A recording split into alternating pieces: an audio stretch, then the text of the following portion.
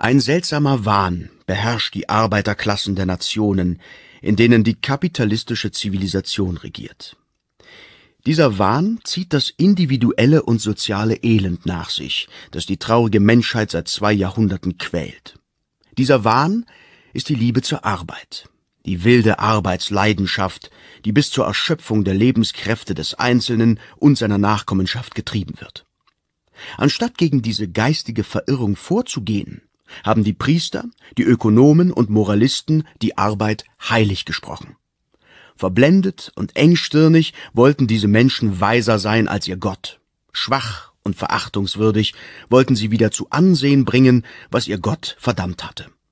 Ich, der ich nicht behaupte, christlich, ökonomisch und moralisch zu sein, appelliere von ihrem Urteil aus an das ihres Gottes von den Predigten ihrer religiösen, ökonomischen, freidenkerischen Moral aus an die unerträglichen Folgen der Arbeit in der kapitalistischen Gesellschaft. In der kapitalistischen Gesellschaft ist die Arbeit die Ursache für jeden geistigen Verfall und jede organische Verformung. Vergleichen Sie die Vollblutpferde aus den Ställen der Rothschilds, die von einer zweihändigen Dienerschar bedient werden, mit den schweren Tieren auf den Bauernhöfen der Normandie die den Boden umpflügen, den Mist wegkarren und die Ernte einfahren. Schauen Sie sich den edlen Wilden an, den die Missionare des Handels und die Händler der Religion noch nicht mit dem Christentum und dem Dogma der Arbeit verdorben haben, und schauen Sie sich dann unsere bedauernswerten Maschinendiener an. Will man in unserem zivilisierten Europa einen Hauch von der natürlichen Schönheit des Menschen wiederfinden, so muss man sie bei den Völkern suchen gehen, bei denen die ökonomischen Vorurteile noch nicht den Hass auf die Arbeit ausgerottet haben. Spanien, das leider ebenfalls im Verfall begriffen ist, kann sich noch rühmen, weniger Fabriken zu besitzen als wir Gefängnisse und Kasernen.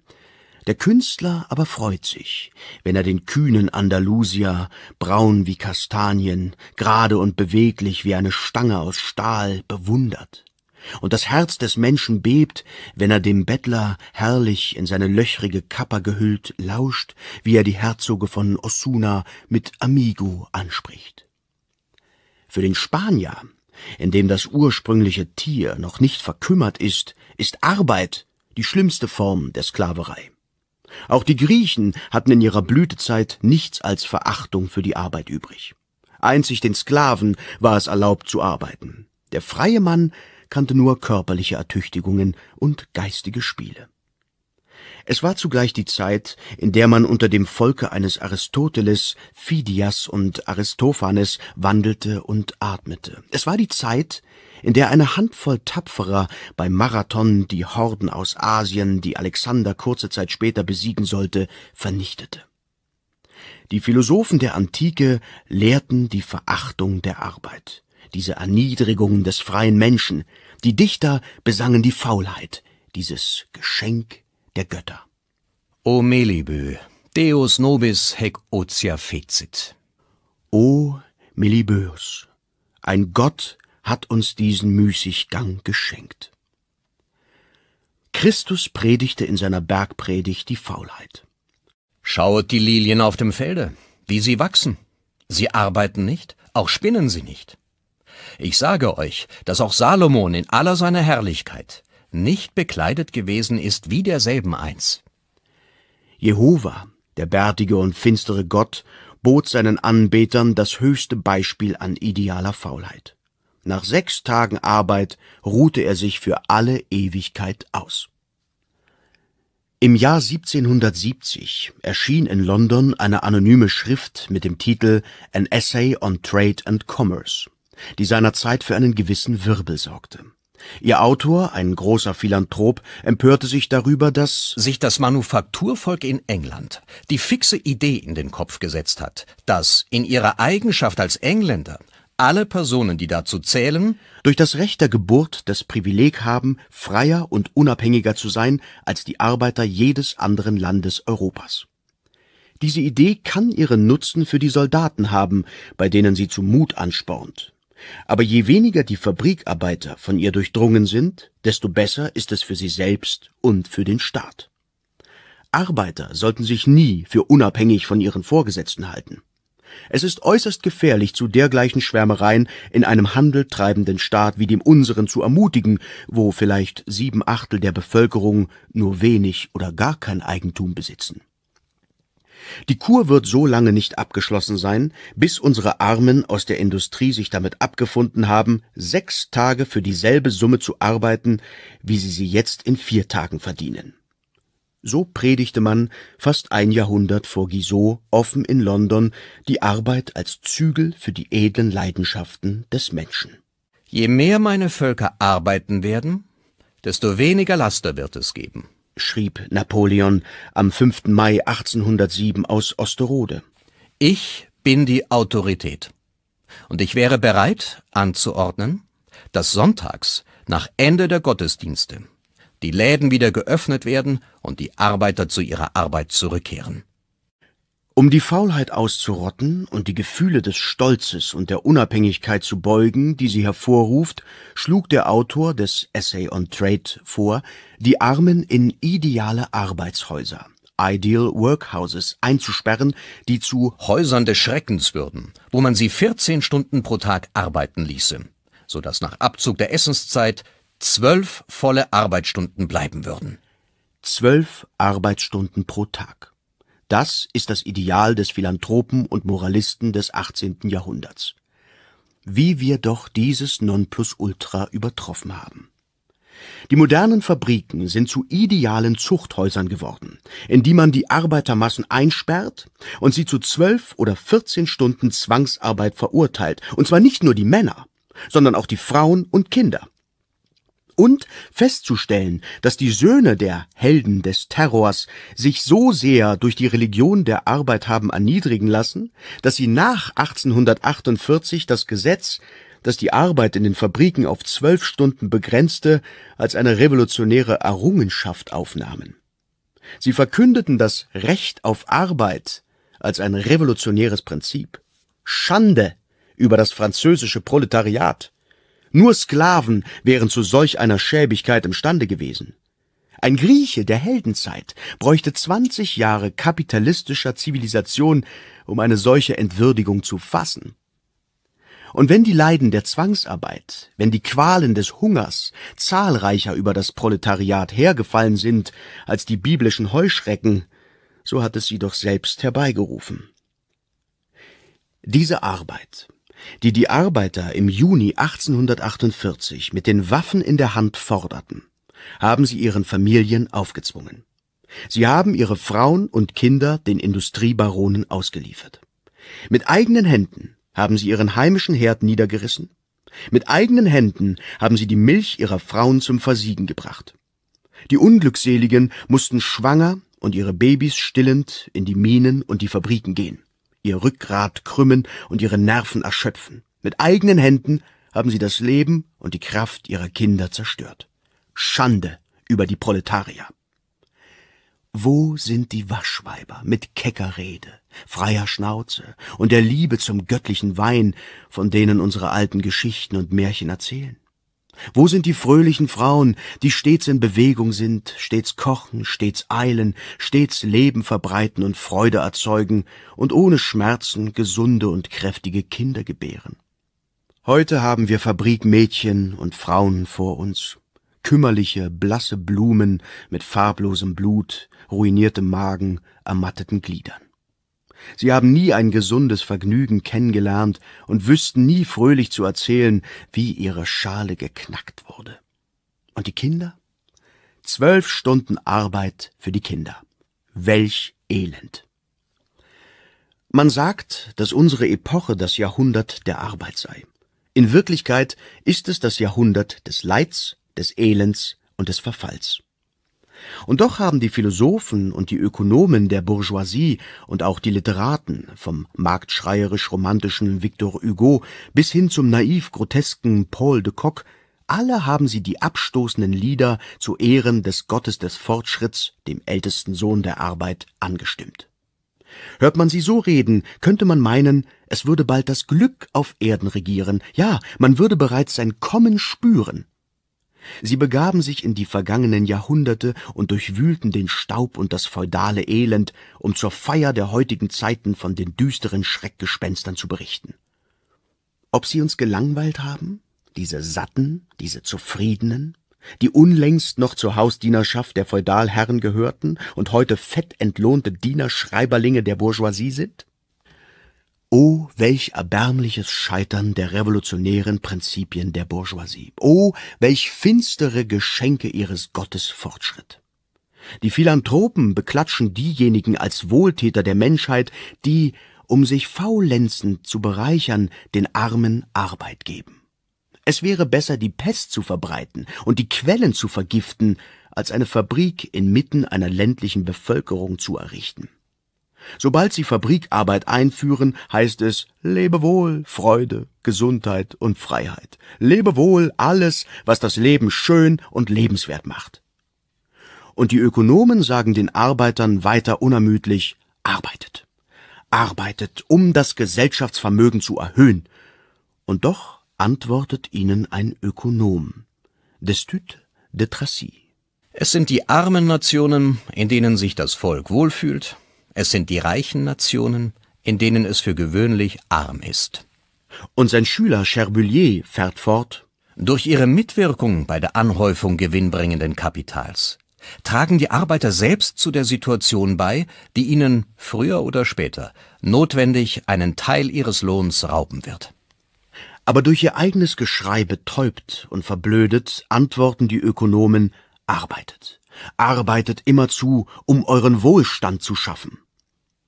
Dadurch, dass die Proletarier den trügerischen Reden der Ökonomen Gehör geschenkt und ihren Körper und ihre Seele dem Laster der Arbeit ausgeliefert haben, stürzen sie die gesamte Gesellschaft in diese industriellen Krisen der Überproduktion, die den gesellschaftlichen Organismus erschüttern. Da es daher ein Überangebot an Waren und einen Mangel an Käufern gibt, schließen die Fabriken, und der Hunger geißelt die Arbeiterbevölkerung mit seiner tausendriemigen Peitsche. Ein griechischer Dichter aus der Zeit Ciceros, Antipatros, besang die Erfindung der Wassermühle zum Mahlen des Korns, die die Sklavenfrauen befreien und das goldene Zeitalter zurückbringen sollte, wie folgt. Schont den Arm, der das Mühlrad zum Drehen bringt, o Müllerinnen, und schlaft friedlich. Möge der Hahn euch vergeblich den Beginn des Tages ankündigen. Deo hat den Nymphen die Arbeit des Sklavinnen auferlegt. Und siehe, da hüpfen sie schon leichtfüßig auf das Rad, und schon läuft die angestoßene Achse mit ihren Speichen und bringt den schweren rollenden Stein zum Drehen. Lasst uns das Leben unserer Väter leben und faul die Geschenke genießen, die die Göttin uns gewährt. Leider sind die Zeiten der Muße, die der heidnische Dichter ankündigte, ausgeblieben. Die blinde, pervertierte und mörderische Arbeitsleidenschaft verwandelt die befreiende Maschine in ein Werkzeug zur Knechtung der freien Menschen, deren Produktivität verarmt sie.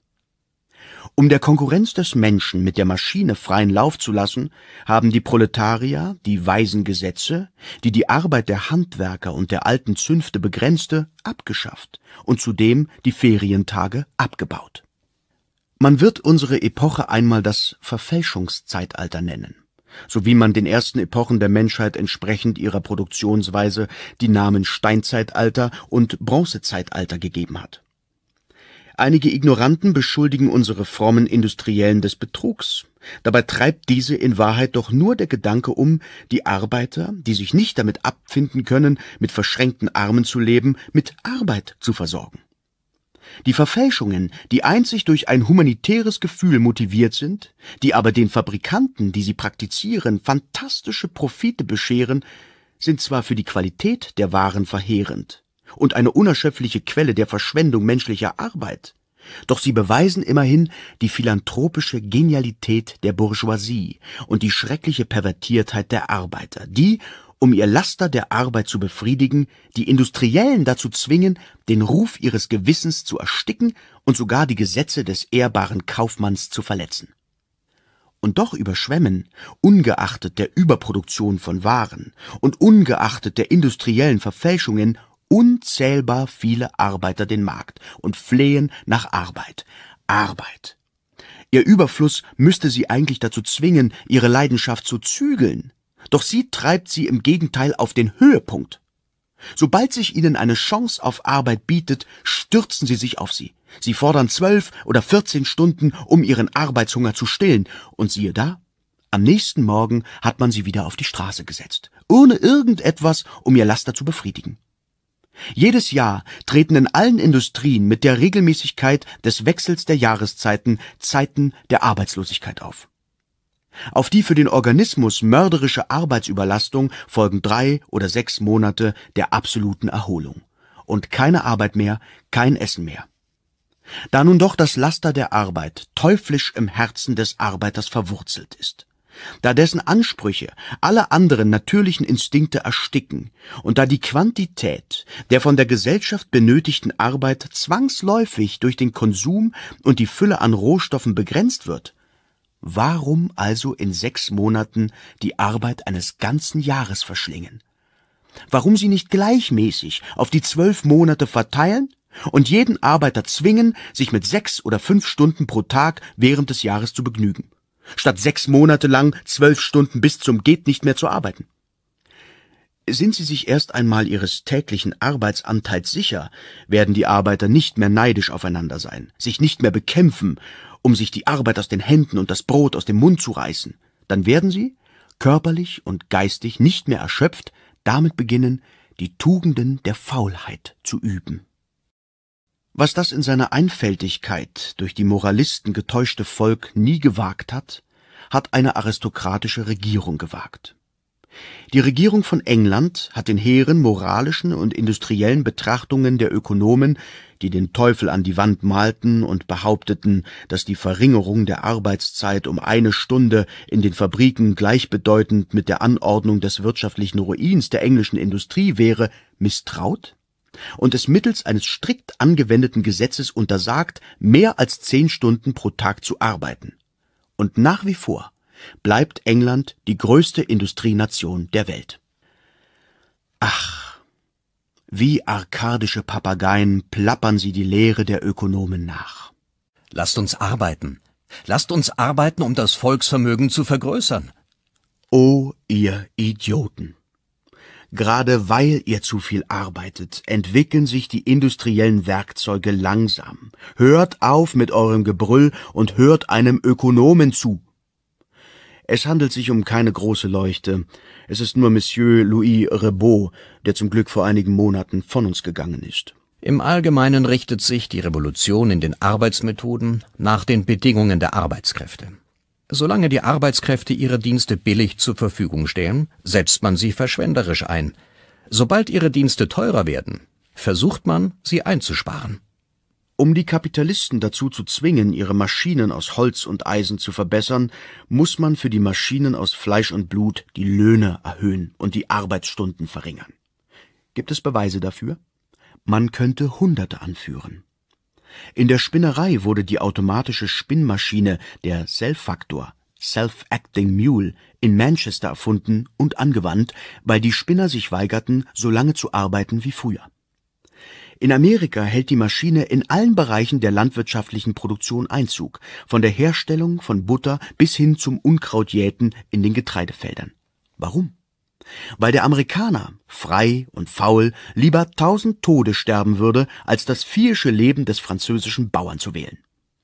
Das Pflügen, das in unserem ruhmreichen Frankreich so anstrengend, so reich an Muskelkater ist, ist im amerikanischen Westen ein angenehmer Zeitvertreib an der frischen Luft den man im Sitzen vornimmt, während man lässig seine Pfeife raucht. Wenn man durch die Verringerung der Arbeitsstunden neue mechanische Kräfte für die gesellschaftliche Produktion gewinnt, so wird man, wenn man die Arbeiter dazu verpflichtet, ihre Produkte auch zu konsumieren, eine riesige Armee von Arbeitskräften dazugewinnen. Die Bourgeoisie Befreit von ihrer Aufgabe des universellen Konsumenten wird sich beeilen, die Masse der Soldaten, Richter, Journalisten usw. So zu entlassen, die sie von der nützlichen Arbeit abgezogen hatte, um ihr beim Konsumieren und Verschwenden zu helfen. Der Arbeitsmarkt wird dann überquellen. Man wird daher ein ehernes Gesetz benötigen, um ein Verbot auf Arbeit zu verhängen. Es wird unmöglich sein, eine Aufgabe für diesen Schwarm an zuvor Unproduktiven zu finden, die zahlreicher sind als Termiten. Und nach ihnen muss man an all jene denken, die sich zuvor um deren nichtige und kostspielige Bedürfnisse und Geschmäcker kümmerten. Wenn es keine Lakaien und Generäle mehr mit Tressen auszustatten, keine Kanonen mehr auszubohren und keine Paläste mehr zu bauen gibt, dann wird man den in den Bereichen Posamenterie, Spitze, Eisen und Gebäude tätigen Arbeiterinnen und Arbeitern durch strenge Gesetze, gesunde Bootsfahrten und Tanzübungen zur Wiederherstellung ihrer Gesundheit und zur Verbesserung des Volkes vorschreiben. Von dem Moment an, da die vor Ort verbrauchten europäischen Produkte nicht länger ans Ende der Welt transportiert werden, werden sich allerdings die Seeleute, die Hafenmitarbeiter und die Fuhrunternehmer hinsetzen und lernen müssen, Däumchen zu drehen. Die glücklichen Polynesier werden sich dann wieder der freien Liebe hingeben können, ohne die Fußtritte der zivilisierten Venus und die Predigten der europäischen Moral befürchten zu müssen.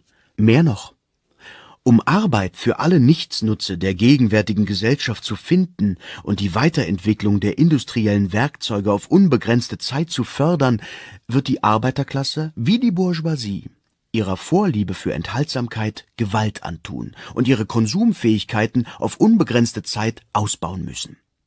Statt am Tag ein oder zwei Unzen zähes Fleisch zu essen, wird sie ein oder zwei Pfund saftige Beefsteaks essen. Statt maßvoll schlechten Wein zu trinken, wird sie katholischer als der Papst, große und tiefe, bis an den Rand gefüllte Gläser mit Bordeaux und Bourgogne trinken, die keiner industriellen Taufe unterzogen wurden und das Wasser dem Vieh überlassen. Würde die Arbeiterklasse das Laster, das sie beherrscht und ihre Natur erniedrigt, aus ihrem Herzen reißen, und sich in ihrer furchtbaren Kraft erheben, nicht um die Menschenrechte einzufordern, die nichts weiter sind als die Rechte der kapitalistischen Ausbeutung, und nicht um das Recht auf Arbeit einzufordern, das nichts weiter ist als das Recht auf Elend, sondern um ein ehernes Gesetz zu schmieden, das jedem Menschen verbietet, mehr als drei Stunden am Tag zu arbeiten, so würde die Erde, die alte Erde, bebend vor ausgelassener Freude spüren, dass sich in ihr ein neues Universum rührt. Wie soll man jedoch von einem durch die kapitalistische Moral verdorbenen Proletariat einen männlichen Entschluss verlangen? Wie Christus, die leidende Personifikation der antiken Sklaverei, schleppen sich die Männer, Frauen und Kinder des Proletariats seit einem Jahrhundert mühsam den harten Kreuzweg des Leides hinauf. Seit einem Jahrhundert bricht ihnen die erzwungene Arbeit ihre Knochen, zerschindet ihre Haut, quält ihre Nerven. Seit einem Jahrhundert zerreißt der Hunger ihre Eingeweide und lässt ihr Gehirn halluzinieren. O Faulheit!